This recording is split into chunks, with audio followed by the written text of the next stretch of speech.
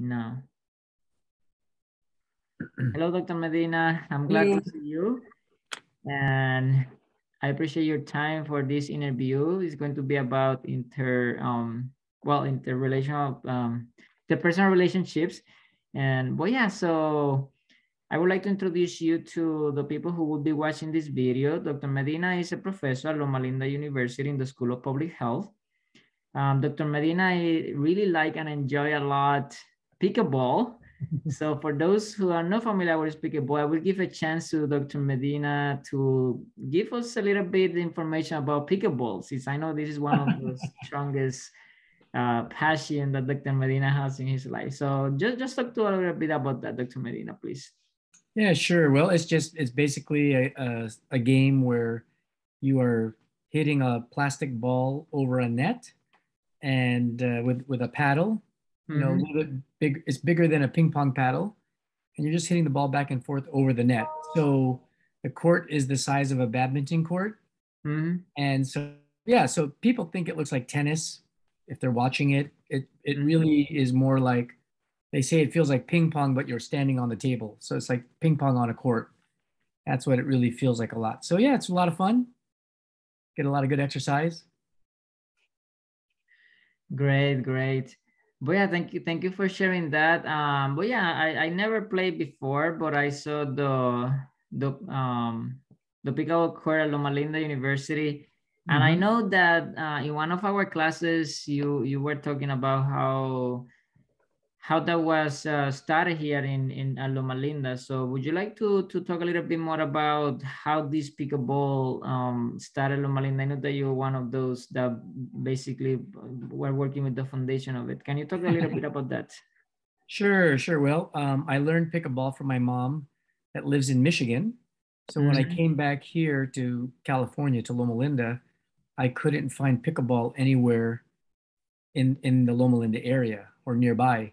So I just purchased a, a, net. You can buy these nets that you could set up anywhere. You could set up a net in the street, on the driveway, in the mm-hmm. gym, in a parking lot.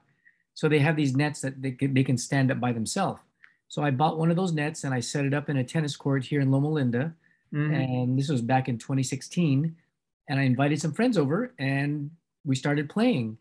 And there was about nine of us back then that played but then from that point on it just kept growing and growing and growing and growing. We kept inviting more people. They would invite more people. And pretty soon we had to move to the the university loma linda university at the wellness center there the drayson center. Mm-hmm. we did it there and it kept growing and growing and growing. And so eventually other cities around loma linda they, they the people that were playing with us say hey let's maybe we can start this in Redlands, or maybe we can start this in Yucaipa or Grand Terrace. So I would help them get started in those other cities. So it started with nine of us, and then now there's probably here in this area around Loma Linda and the cities around Loma Linda, Riverside, Moreno Valley, Grand Terrace, San Bernardino, Highland, Yucaipa, and Redlands, that sort of ring of cities around Loma Linda, probably over a thousand people or more that play pickleball now. So they all have clubs. They're very active. They, you know, they're um, yeah. There's people playing at our at our university. We have a lot of students that play now, and uh, so yes, it's it's grown exponentially in the last you know six seven years. So it's great to see so many people physically active mm. uh, in a fun and social way. It's a very social game because you're very close to each other when you're playing and so you can you can fit four pickleball courts on one tennis court. So there there could and you play doubles, so that that's like four people per court. So that you could have like 16 people on the size of one tennis court playing, and uh, yeah, it can get uh, yeah, it's very social. So amazing. But yeah, thank you, thank you for bringing that up the the social side of the uh, pickleball game because when we talk about interpersonal relationship so basically has to be with um, have a good social relationship between two people or more, correct? So um, so pickleball seems like one of those ways that people can have more better relationship with others. So how they develop their interpersonal relationship and coming from the intrapersonal. Intra is just when you just talk to yourself, and intra is when you relate to other people. So mm-hmm. it seems like uh, the interrelationship uh, um, in pickleball, it it works for having a better relationship with others. So now I know that you're in the public health department Loma Linda. So how do you relate pickleball and interpersonal relationship, but in community? So from the standpoint of making man whole, that's Loma Linda motto. So can you talk to me? How do you visualize that? Sure. Yeah. Well, you know, it's a great way to hang on a second.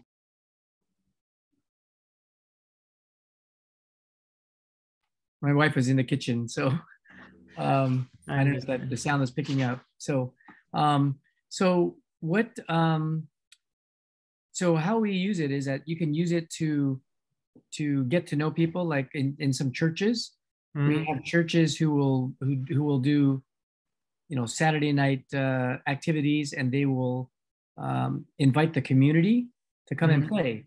And so it's a fun game. It's very easy to pick up. I, I, usually teach somebody in less than an hour. They can they can be playing the game, and so it's a great way to outreach to people. And and and I've met so many people, so many friends through pickleball. And, and I do play tournaments. Not not most most people don't play tournaments, but I play tournaments, so I I go to different places, and I so I, I have friends now literally all over the world that play pickleball, and so it's a great way to get to get a lot of people together, but also mm-hmm. intergenerational. You know, we my mom is 80. My mom just turned. My mom is actually turning 84 today, so wow. she's 84 years old. Today's her birthday, and uh, you know, I so it's something I can play. You know, with my mom, mm-hmm. and we mm. can play other people of different ages I teach kids as young as nine, 10 years old. So you could have different generations playing. In fact, one of the top women's pro teams in the world, one of the top women's doubles team, is a mother daughter duo. The mom is like 40 something, the daughter is only 15 years old, but yet they're one of the top women pro teams in the world. So, so yeah, so it's it's intergenerational, inter you know, it's a great way to meet a lot of different people. And like I said, it's very, very social. Amazing. But yeah, wow. I, I mean, I, I was familiar a little bit. So, well, that people really enjoyed the social aspect of, of pickleball, but I didn't visualize that that relationship between different ages. So I know that your mom um, recently competed in nationally, and yes. she competed by her age, uh, something like that. Yeah. So but in that case, I didn't know that people like, let's say an adult, 40 and above or 30s and a child 10 years old, they can play in the mm-hmm. same spot, in the same area. And regardless of their age, they still have that interpersonal interpersonal relationship and developing this as social aspect. Yes. There's a lot of, I know a lot of people like father and sons will play here in the area. There's a lot of, a lot of uh, people like that. So, um, yeah, because again, it's it's it, it's not just based on power alone. I mean, power is nice, but it's really more about control and mm. and finesse. And so um, so that's why a little kid can play with an adult and still do you know still do very well. So yeah. Well, this is good because as you mentioned power, so we know that by um, um, exercise physiology, so power is strength plus speed, so meaning if you're doing any exercise and you want to have power on the sport on exercise, you need to have strengthness and uh, and also need to be fast, so speed. So, but in this case, pickleball, it seems like more like doable in in the case, regardless if you are fast or not fast, and and if we have too much strength or less strength, so it's still being doable. Working out. Yeah, that's because that's the nature of the the the sport because it's it's a plastic ball Mm. And so, like a wiffle ball, you know, most people know what a wiffle ball is. So mm-hmm. that only goes so fast, but you can hit it slowly and the ball can go slowly. Whereas, like with tennis, you know, even if you hit the ball slow, you know, you hit it gently, the tennis ball moves very quickly. And so, it's the learning curve in tennis is much steeper than it is in pickleball. So, if I want to just play really easy with other seniors, like on Wednesday, we were doing a filming for a Blue Zone documentary movie from the you know the UK from Britain, and I was playing with all these 70, 80 year old people. I could just hit the ball nice and gentle, and the ball goes slowly, and and it's okay. But then on then later that evening, we were playing intramurals, and we're playing with like students, and they they can hit the ball very fast. So the game can go like, you know, can go from slow hitting very slowly, and then all of a sudden, bang, bang, bang, bang, bang, you know, like really fast. Just you know, and so it can change really quickly. So the nice thing is you can change your level based on who you're playing. Great, but yeah, that, that's good. So that then give the chance to give uh, everyone who would like to join and have more social aspects um, and, and at the same time have some exercise so they can go with the pickleball sport instead of just trying another one, like let's say basketball or volleyball mm -hmm. that are a little bit more impact or more, well, you need to, to be fast and have more power for those than versus pickleball Right. But yeah, so I have a question here. So I know in the personal relationship, uh, uh we can develop in different ways, just only through pickleball So let's just see in a little bit more deep, let's just say interpersonal relationship in a marriage. So I know that you have a family, have a dog, a wife, and kids. Mm -hmm. Well, I don't know all your kids, but I remember that you mentioned they have yeah. some. Uh, I think that they are already adolescents or school. Oh, there, yeah. She's an adult our, our daughter is, yes. is 20 yeah she's in her mid 20s so, so, now how based on your experience uh, i would like if you would like to share with us so if, if it's if it's not fun if it's not it's okay so how can we develop healthy interpersonal relationship in in, a, in the family context. So meaning between husband or wife or, or with kids. So because we we not we need to beside to be socially developed outside so also needs to be in our house. So and i know that i asked this question because in class i saw that well you always talk about your family positively. So i wanted to to see how what advices you you have for for us. So advice oh man or something so how we can have this interpersonal relationship in the home so basically uh -huh. yeah all right. Well, you know, when um, when our daughter was small, it was it was a lot easier. We were always involved in a lot of her activities. Mm-hmm. So, you know, like when she was, uh, so we homeschooled our daughter, mm. and so we were very, you know, my wife was doing the homeschooling, and then uh, she would do like ballet or swimming. She was on the ballet uh, ballet school and swim team, and so then we would take turns, uh, you know, you know, bringing her there or watching her there. So we were very involved with her life, um, you know, at that. And so we just did everything, everything together. You know, go. I was a coach. We were coaches on the the team. So just you know, just uh, being involved. It wasn't like I just go to work and then they just do their own thing. And uh, so we were we were pretty involved with her as she was growing up. Now now she's an adult herself.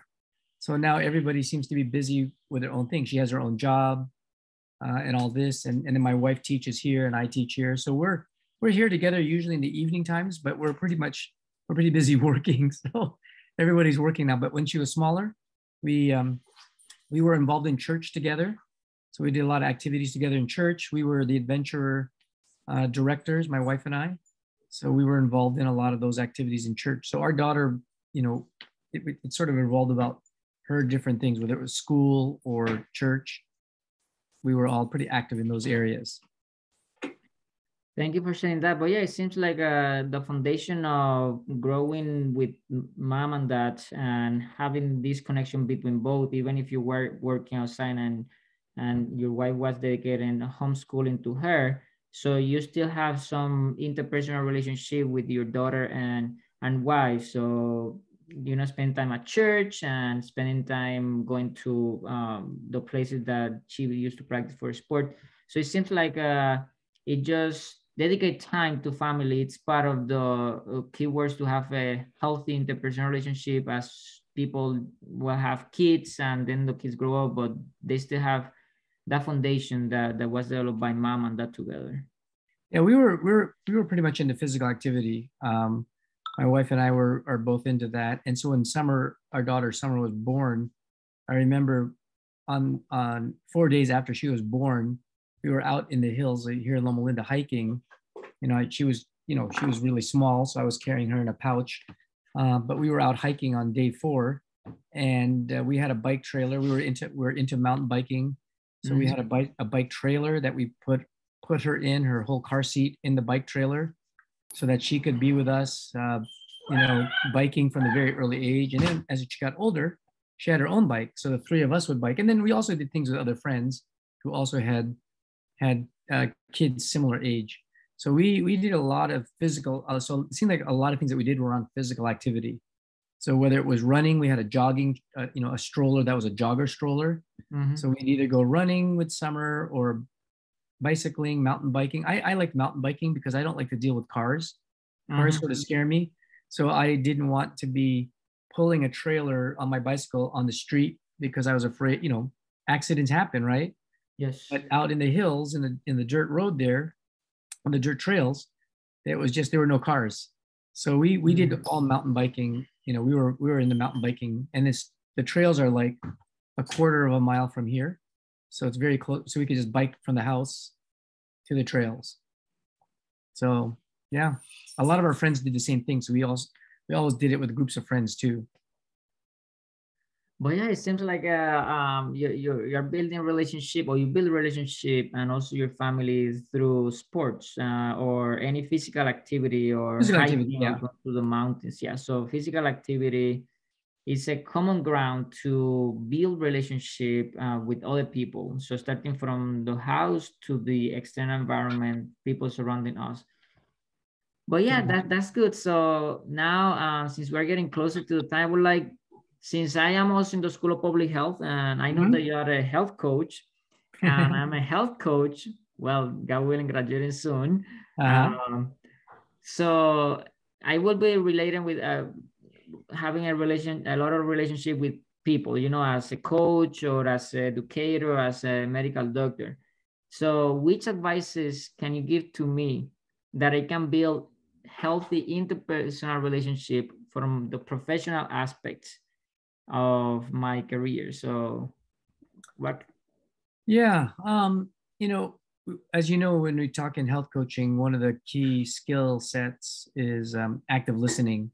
So, mm-hmm. because a lot of times when we have a lot of education, we tend to assume we know what the patient or client needs.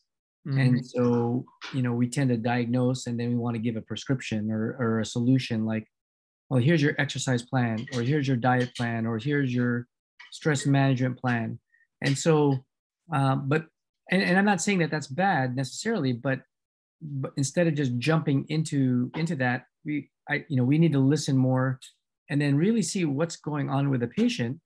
And then we can offer some suggestions or guidance or, or help them figure out what is best for them. And so I think, um, you know, listening more and, and talking less sometimes. And, and I had to learn that when I was, when I graduated uh, back in 93 and I was working with patients trying to lose weight, trying to quit smoking, trying to, um, you know, uh, manage their stress better, whatever. Uh, you know, I always was quick to like, oh, hey, well, here's here's here's the the plan, here's a solution for you.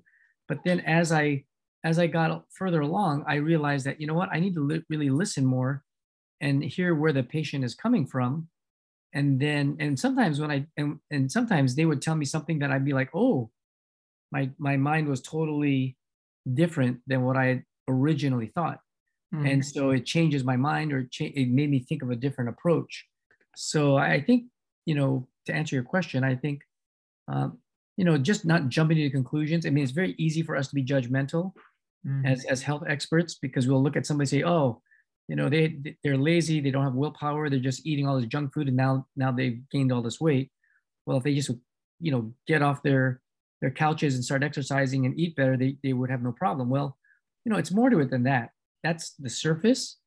That might be the surface behaviors but really we have to find out well what's driving that behavior? Why are they not you know wanting to be active? Why are they eating all this junk food? You know and so um you know, why are they smoking?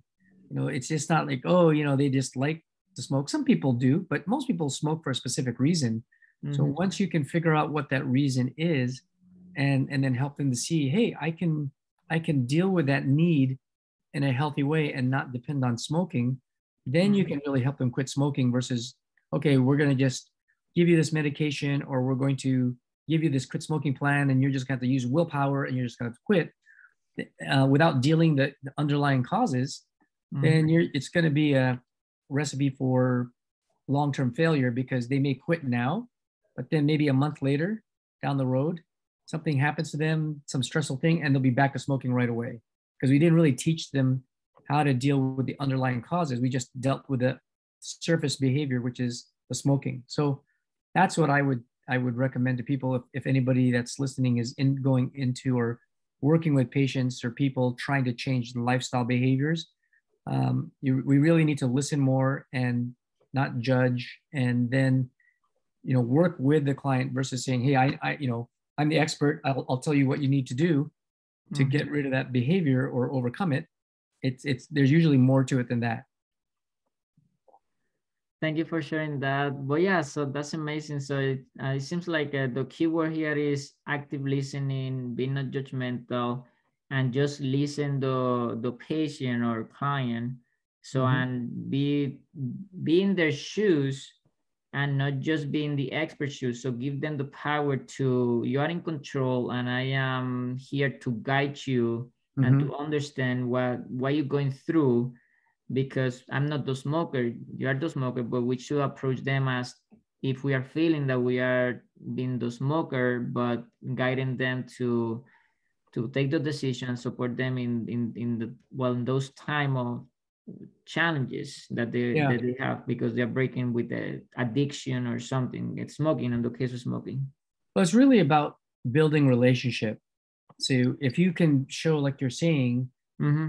going in their shoes and you're showing you know you they sense that you are empathetic mm-hmm. with their mm. situation with their with their who they are then you can build rapport you can build a relationship once you can do that then then you build trust so if if they tr- and then when they trust you then they're more willing to listen to you they're more willing to to uh, you know come up with ideas and and if you can if you know at that point then if you make suggestions that's fine mm-hmm. uh, but it's really about building a relationship and building that rapport and if you can do that with somebody then your chances of changing helping them change their behaviors is going to be much higher than mm-hmm. if i'm just this sort of expert telling you and we don't really have a relationship but i'm just giving you information that doesn't change the lifestyle behaviors for long term Great. But yeah, thank you so much for sharing that. And but yeah, so I'm I'm working for that. And anything else that you would like to share before I do a summary and close up with the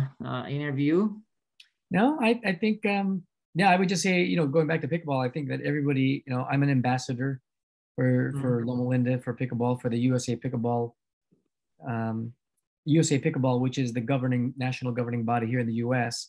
Wow. And so uh, I'm an ambassador to them. I actually also serve on the board of directors for the USA Pickleball Association. So it's a nonprofit. It you know it's it's like USA Swimming, USA Gymnastics, mm-hmm. and so um, the the mission is to to grow the sport in the U.S. And uh, and so and I but I you know I do it not just because it's a fun sport, but because I've seen it as a great tool for increasing physical activity, which is mm-hmm. a special interest of mine. I mean, I wish I had known about pickleball when I was working at Beaver Medical Group before coming back to Loma Linda, mm-hmm. uh, because we had a big parking lot there. I could have easily set up a court right in the parking lot. Uh, and so uh, I look at it as a public health intervention mm-hmm. to, to easily get people moving in a fun way, in a social way. And it's moderate intensity for most people. So, it, you know, it's easy. It doesn't like, you know, mountain biking is a very challenging sport because the moment you go off the, the pavement to the dirt, it's sand, it's rocks, it's uphill, down, you know, whatever. It's for mm-hmm. most people, mountain biking is a very high intensity sport. So it's it, it's very painful for a lot of people. Um, and they, they give up and they get discouraged. But pickleball is a lower intensity. So um, I wish I had known about it back then, or else I would have had all my patients playing it. So I, I, I encourage people to to give it a try. You can mm-hmm. almost it's growing all over the, the world. So they can find if you go to usapickleball.org, there's a one of the there's a tab there that talks about how to locate where pickleball is near you. And so you could find the closest club, the closest ambassador, and find out where's where's pickleball. The the, the documentary we were shooting yesterday was from the UK, right? So mm-hmm. the guy, the host, Jon Snow, who is a, a famous news reporter in, in England, he just recently retired and is doing this documentary, but it was his first time to ever play pickleball. Oh, so wow. he, he just enjoyed it. He loved it. And so he says, Oh man, I'm going to, when I go back to England, I'm going to find pickleball there. So I emailed him some contacts there I have there in, in the UK. I emailed him and, and they, I shared, I connected them together. So when he goes back home, he can uh, play, you know, find it there in England. So yeah, it's, it's fun. I, I encourage everybody to try it. Great. Well, thank you for sharing that. And I hope to be next time before I, Got I you. Loma Linda. That's I will right. talk to you later after we are up the, the, the, the interview to see okay. we can get the hands on it. But yeah, so for those who will watch this uh, in the future, and today we talk about interpersonal relationship. Um, there are several ways to do it. So one of those is the social aspect through people around us. We use, for example, pickleball as a as a good tool. Besides to do a exercise or physical activity in a fun way, outdoor, or you can also do it indoors. So the mm-hmm. majority courts are outdoor uh, around where we live, uh, Loma Linda area. And but yeah, the fun part is that it is very flexible. So any person that is willing to do it will do it. And you can play kids and parents or older people with younger people and mm-hmm. develop this interpersonal relationship and more the social aspect which is one of the uh, needs that we all as human beings has, which is being social beings. So then uh, on the side of how we can have a healthy interpersonal relationship in the home, so with the spouses, so it is important to balance between uh, work and relationship, spouse and kids, and this through activity in this case dr medina told us that was uh, going to church adventurers or going physical activity and being active. So as a as a coach and so uh, we can see that then they develop that relationship so then the other aspect is me as a health professional i asked dr medina so how can i have a healthy interpersonal relationship in my career as a coach or medical doctor and well, medical doctor usually classified as expert, meaning you give instruction and the patient does. So, but the health coach is different because we we need to listen. I mean, doctors also listen, but give more instructions. So, but the health coach is it, it's particularly important because we listen, read between lines to see what the patient is saying, and we we work from there. Um, that patients can have some lifestyle that lasts. So this is the goal. And usually all these work in team, medical doctors or, or coaches. So for, for the lifestyle change, so they refer to, to coaches in this case, mm-hmm. uh, to have more active listening because you can dedicate more time. So this is mostly that we talk today, uh, how to develop the personal relationship in the house, uh, outside, and also in the professional aspect as health, as health professionals. So with that said, thank you so much, Dr. Medina, for your time. And sure. I hope to see you soon. And I will stop the recording. God bless. Okay, thank you. Thank you, You're welcome. My pleasure.